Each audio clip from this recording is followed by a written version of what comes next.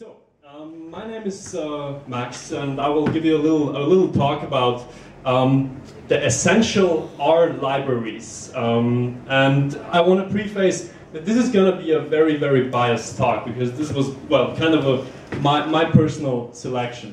Um, so let's start off uh, very very briefly. Who am I? I'm actually a chemist uh, slash physicist, so I come from natural sciences. Um, and after, I my, after my studies, I started working at a startup where I did some business intelligence work. And after the, where I realized I actually want to do data science, so I applied at a steel threading company. And ever since, which is a kind of a half a year ago, I started working uh, with R. I had some previous programming experience in the standard, um, well, academic programming stack, which is comprised of C, C++, and of course Fortran 77 because we don't like object-oriented programming. Um, yeah, and so this is this is all about me. The first the first thing we have to clear is uh, why this talk. Um, I believe that, or all of you who work in data science uh, have probably realized that we're spending 80% of our time on data wrangling, just fetching data, getting data into the into the right form, and after that we can spend the rem remainder of the 20% um, in order to do some, some actual modeling, some intellectually straining and interesting work. And this is the reason why I believe that, um, that efficiency is efficiency in this context is kind of important. Um, and in the context of R, there is, R has this one specificity, as same as Python. The R and Python communities are huge. They are immensely huge. I don't think that you will you will find other uh, communities that are, that are as large and as huge and where there are so many um, packages around. Um, CRAN hosts about 7,000 well-maintained well and well-documented packages. That means please refrain from, from, from reinventing the, the wheel if you're working with R because you don't need to reinvent the wheel. There are actually Teslas driving around. You just, you just need to find them. And this is basically the reason um, why I wanted to give this talk, because um, yeah, you can be much more efficient if you just know what's there. But this is due to the, the, the, sheer size of the community and the amount of packages, that's no easy task. And kind of half jokingly, I put this, this, this very um, this, this XKCD comic here, which shows uh, how much time you can actually shave off um, if, you, if, you, if you shave off some time over a, for a task that you're doing repetitively. Okay, so um, first of all, so well, what? Yeah, so this is basically the, the, the most important. Um, I hope I hope you can read. Can you read that from the very end? Yeah. Okay. Um, so what what do we have at our disposal? First of all, um, RStudio. RStudio is a great IDE. Um, IPython notebooks, Jupyter notebooks are, are awesome, um, but I believe RStudio has, has even more power insofar as it integrates beautifully with uh, Shiny apps. Um, it provides a, its, its own markdown language. It also provides means for reporting and creating presentations. And I created this presentation also um, with RStudio and, um, and the tools that came with it. So RStudio itself is something worth looking into. Um, aside from RStudio, there is there are some packages that are that constitute the so-called tidyverse, which are mainly authored by Hadley Wickham, who is probably um, well known to the, to the, in the R community. Um, he has written, for example, dplyr, which we will come to later on. dplyr is the go-to um, library for, for all operations, um, for, for all data frame um, operations. On the other hand, you have, you have Tidyr. Um, this is also something defined by Hadley Wickham um, that data should, should exist in a tidy format. You have the next, but you have the package for that. Um, if you if you do anything string related, sophisticated string operation, then you go to stringr. Um, aside from that, if you ever had to work with dates and especially time zones, time zones, you know that this can be a huge pain. For that, you have, for example, Lubridate.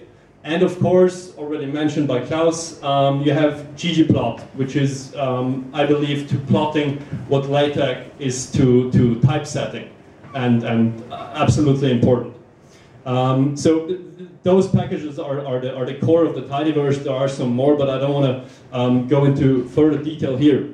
Um, aside from, from the tidyverse, you have, for example, um, Shiny. Shiny itself um, is a framework that allows you to, to create web applications, interactive web applications, just very similar to, to, to what uh, Klaus showed you uh, a couple of minutes ago. I will show examples of that later on. And something I personally found um, extremely helpful recently is a package called Diagrammer. I'll give you an example later on as well, uh, which allows you to, to define flowcharts by using ASCII text. And if any one of you ever tried to do a flowchart, large flowchart, where he realized he needs to input something at a central position, knows that it, this can be a huge pain. It's kind of like messing with Word and, and um, including a, a, a graphic at the very end, which messes up the whole layout. So using, using, using programs that take care of you with the, with the, of the layout are really helpful. And aside from that, um, some packages like magrittr, we'll talk about that. YAML is also quite interesting because um, that is a, a, data serialization framework. And the cool thing about YAML is um, it's absolutely cross-language, cross-system. So uh, you have YAML for Python, for R, for C, for any language, for Erlang, for Go, for Julia, for literally any language. So if you have to exchange um, smaller amounts of data um, from one language to import it to another one, use YAML. I personally use it for all my config files because there are super easy interfaces. Also, unit testing, if you have to unit test, use testthat, also authored by, by, by Hadley Wickham. Um, if you, I personally, I'm kind of a color geek. I really, really like when we're plotting um, to using the right colors, and there's uh, RColorBrewer for that. And the last thing I also show, show an example uh, for that is Profvis is profiling R code, because this is something absolutely necessary, because it is very easy to write messy and slow R code, and you need to, to, to find out what is slow and, and, well, find a remedy for the, for the bottlenecks. So please take this take this slide as a, something for, for future reference if you ever um, find, find yourself in a tackling a problem that has to do, for example, with dates or something, and refer to this slide. Okay, and what we will cover today is magrittr, dplyr, Shiny, Profvis, and Diagrammer, depending on, on, on what the time and the audience allows. Okay, um, I will use two, two exemplary data sets uh, for, the, for the next examples. The first one is the iris data set. Um, it has some information on the sepal and petal uh, dimensions of uh, three flowers, the iris setosa, versicolor, and, and, and, the third one. And the other one will be the mtcars um, standard data set, um, which is comprised of um, some car specs. Okay, so let's start off with uh, magrittr. Um, this actually occurred to me uh, why this is necessary during your talk, talk Klaus, because in, in Python you have this beautiful object-oriented program way of programming where everything is an object and has its attributes and its methods and you can apply them to this, to this object by just chaining them with the dots. Well, in R, object-oriented programming is, is, is um, implemented slightly, slightly different. It's basically a better naming convention. And um, this leads to the fact that in R you can write code either this way, which is a very nested, the simply the nested approach, which leads to code that you have to read from the inside to the outside. So first you filter, um, this is enclosed by a summarize function with, uh, with some argument, and then in the end you arrange. So the, actually the last function call is at the top. So this is suboptimal for commenting, for reading, for comprehension. Don't do that, but you have to sometimes. Okay, the, the slightly better approach is the sequential approach, where we simply assign intermediate results to um, dummy variables or some intermediate variables. Um, problem with that is, if you want to comment something out, um, then this code won't work anymore. You would have to you, you would have to change something, um, and also you at some point you will you will run out of meaningful dummy variable names. Therefore, there is um, this, uh, this this library and it lent its name from, from, from well, this painting by Magritte, which says, this is not a pipe, because this is obviously the image of a pipe, and um, in this case, it's this, it's this operator that it, that it incorporates that allows for chaining and piping um, the output of one function to another. So in that case, that means what I can do now is basically the same what, what in Python you do with this dot operator where you chain um, the uh, subsequent functions with each other.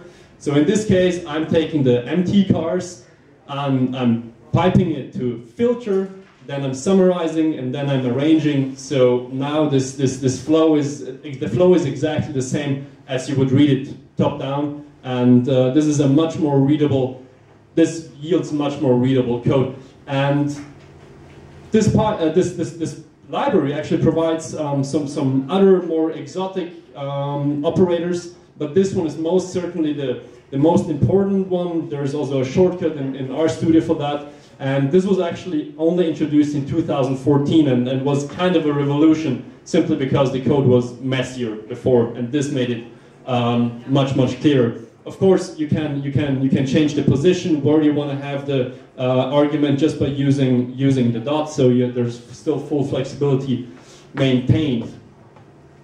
Okay, so we have uh, magrittr covered the pipe. Now let's have a look, um, a brief look at dplyr, since some people already know it, but not all of you. Um, dplyr provides a complete framework for manipulating data frame. That's what the dplyr stands for. So you have basically seven verbs. Um, you have a select, which selects simply columns. You can filter rows, you can group by, you can summarize, you can add columns by mutate. Of course, you can arrange, and then you can, you can join. And there are two approaches. The one is the non-standard evaluation approach and the standard evaluation approach in every case. And um, the difference I want to highlight um, with the select function. So in base R, you would subset a, a data set just like that with the, subs with the subset operator, the, the, the bracket. Um, whereas in dplyr, you're simply, you don't have to pipe, but in this case, I always uh, pipe it into the, um, the, the data set into the function, and you don't have to, and this is exactly what non-standard evaluation means, you don't have to use uh, quotation marks anymore, you just pass um, the names of the, of the columns you wish to have, you wish to select. And in the in the standard evaluation case, you still have to you still have to do that, but uh, the standard evaluation case is usually used if you want to construct the column names you want to subset. There you go. Okay, and what actually select is, is, is nothing too fancy. However, what is actually cool about select is it works with uh, some helper function, for example, with uh, matches that actually provides a um, a, where you can provide a regular expression or, for example, starts with or ends with, is kind of helpful because very often you, you just uh, put a prefix or a suffix before or after a column, column name um, to discern that something happened before or after, and then, and then you can easily select that. Okay, um, filtering, filtering works um, pretty much uh, the same. Um, I want, I'm, I'm gonna skip over that for now. And of course, grouping, uh, Klaus, because you, you actually took, it away, kind of. It's, it's literally the same grouping and summarizing and just collapsing the whole data frame to one single uh, row and calculating some, some metric, in this case, the mean of the sepal length and then the standard deviation. And here we would see the, the, the result. And mutate is pretty much the same. You can simply um, add with the same syntax and the mutate function, you can add the sum of the petal dimensions. Now, and if you put that all together, um, you can, for example, first mutate and then set for the for the mtcars. Um, you can set, uh, you can define a efficient and inefficient category depending on the the mileage the cars get. Um, you can, of course, then group by again by both levels, the efficiency category and the number of cylinders you can summarize that and arrange, and what you get is, is actually a data frame where you can see that the efficient cars usually have four cylinders and rather low, rather low average horsepower, whereas the inefficient ones are, of course, rising. So, this is basically dplyr. Now, some of you might know the, the other package, which is kind of a competitor, which is called uh, data table. Um, and I was always wondering, what, what is the difference? And this is what I would like to highlight now in the next slide. Now, there's usually the question which one's better. You can find a lot of threads on Stack Overflow uh, asking exactly that. And the point is, they're following very, very different philosophies. That means uh, dplyr uses those very verbose verbs, uh, whereas data table has a more convoluted, rather base R syntax, where, uh, which is depicted here. So take the data table and subset rows using this argument i, and then calculate j group by this by argument. So this is just different syntax. However, there are very important differences because dplyr is much, much less memory efficient. Because simply it's memory inefficient. That means um, it always creates a deep copy of your whole data set. So if you're using, if you're working with bigger data, and by bigger data I mean data that reaches um, your your uh, the RAM, um, the memory, the accessible memory in your computer system, then you would probably want to use uh, data table because you can only use data sets that are half the size of your memory. Um, so this is the first, this is the first uh, very important difference. And the second one is that data table works kind of like a database. That means it also has indexes, and for data sets that are larger than, than let's say, a million rows, um, subsetting becomes with data table drastically faster. So this is where dplyr cannot compete anymore. And this is where the, the point where you would definitely um, yeah, switch dplyr for data table. So it's good to know that um, data tables there and, and, and will be more, more efficient. Okay, so um, who of you knows, knows Shiny, Shiny applications? Okay, a couple of people as well. So let's go rather quickly over that. Um, I have what I want to actually to show is is that it's incredibly easy with Shiny to create interactive uh, web applications and uh, something very similar to what you showed before, Klaus, um, with, with, with those sliders. And I just want to show how easy that actually is. So I got disconnected from the server. So this is a Shiny app that actually consists, this is, this is from the Shiny gallery, which, which uh, provides some, some examples. And the whole code for this, for this, what you see above is this and this. So this is basically 30 lines of codes. Uh, of code, and you have this k-means clustering of the iris data set where you can interactively, interactively select um, the x and y variables and, for example, the class, cluster count, and interactively it, it, it just updates. Um, I, I, personally find it incredibly remarkable um, that you can do something, the interactivity especially with, with so little so little code and it's actually very, very easy to grasp. Okay, so that was Shiny. And now to something actually completely different. Um, I, I, mentioned before, um, in R, it's kind of easy to write um, inefficient non-performant code that is simply very, very slow. And you will have a problem, try, uh, kind of, it's always a problem to, to finding those bottlenecks and, and finding out, um, and yeah, well, finding a remedy for that. And I want to show an example um, how this could, can be done, can be, can be easily uh, remedied with, with this Profvis uh, library. So what, what we have here, and I've prepared this example of where you have a data frame with uh, 150 columns and 40,000 rows. And what, what, what I'm going to do is I'm, pro, I'm going to profile uh, three different ways of, of calculating the mean. And so if you run this code in, in, in RStudio, you will get the following. You will get this. This is a little bit too much zoomed in. That was perfect. Okay, so what you see here is, I'm gonna use the mouse. Um, you can see here on, the, on, on, this side the memory used by each line of code and the time it took to, to execute the line of code. So um, remember we had a data frame and uh, in the first case I'm using an apply function to calculate the mean along the columns. This, is what the 2 stands for and the function is of course calculating the mean. So the memory took 1.5 gigabytes and it took one second. And now the nice thing is, uh, as you can see down here, um, everything is highlighted. This line of code is highlighted down here. So first, when you call apply, what is first called um, is as matrix. That means that this data frame is is um, is how do you call it? If, uh, yeah, it, it is a, a, matrix is made out of the out of the data frame, um, and then a unlist follows. After which um, the aperm function, which simply transposes the matrix, is applied, and only after that you apply the the the function which ca calculates the mean. So you're spending a lot of time doing things that simply have to do with your with your date, uh, data format.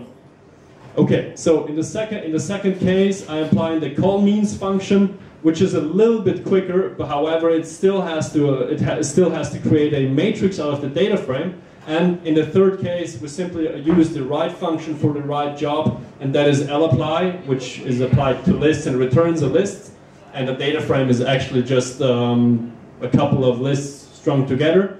And as you can see, this is, this is by far the, the, the most efficient way to do things. And yeah, this is pretty much the example I wanted to show you. And with that, I want to actually close with, with uh, what I mentioned before, Diagrammer, which is a great tool um, for flowcharting because it, for example, it's it's basically a wrapper for two different languages. The one is GraphViz and the other one is called Mermaid. Um, and it allows you to just, for example, in this case, I use some Mermaid code, um, which what we're the only thing you have to do is define your nodes and the connections between the nodes, and and and, and the layouting is is taken care of by by um, diagrammer. So no problem. So this is this is something I found extremely helpful because you can you can create huge flowcharts that are that are always working and you never have to take care of of. This was what, what I wanted to mention as well. Um, we don't have to write anything; we will put it on our homepage. So, on the meetup page or on the homepage? Sorry. On the meetup page or on your homepage? On our homepage. Oh, right. Wiener Data Science Group. So VDSG dot I dot AT. Questions? Questions? Or was it completely clear? it's completely clear.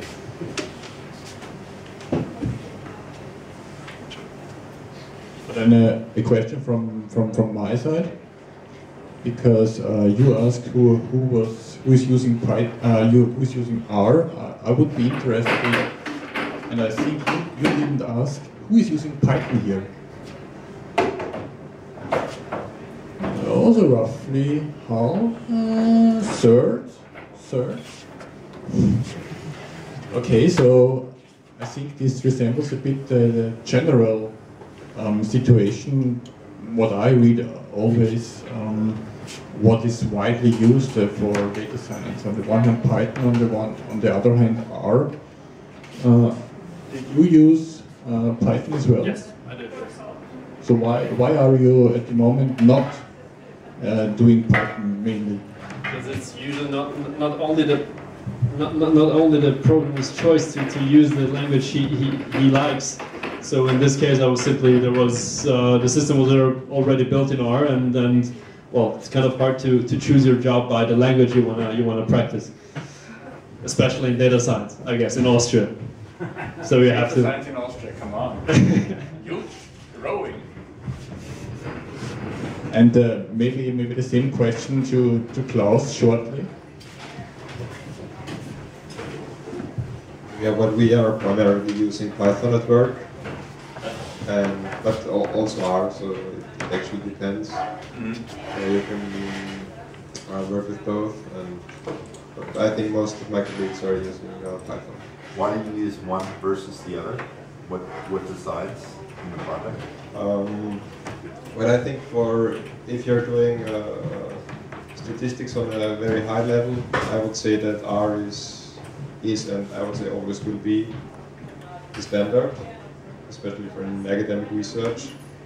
Uh, I don't think there Python will ever replace R with respect to, statistics on a very high level. But otherwise, um, I personally prefer Python for its its cleaner style, actually. So it, uh, it just feels better, and that's uh, when you spend a lot of time. yeah, I think that makes a difference. Is it higher performing in general? I mean, I know you gave profile ways, but R has a reputation of being slow. No, it, it is. It, it, most certainly is slow. And if you want R to be fast, you, you, you're gonna write your the, the core at least the core of your library or your function in C, which is well okay. But but I, if I wanted to, to, to write C, I wouldn't choose R. Um, but that's that's that's what you would do probably.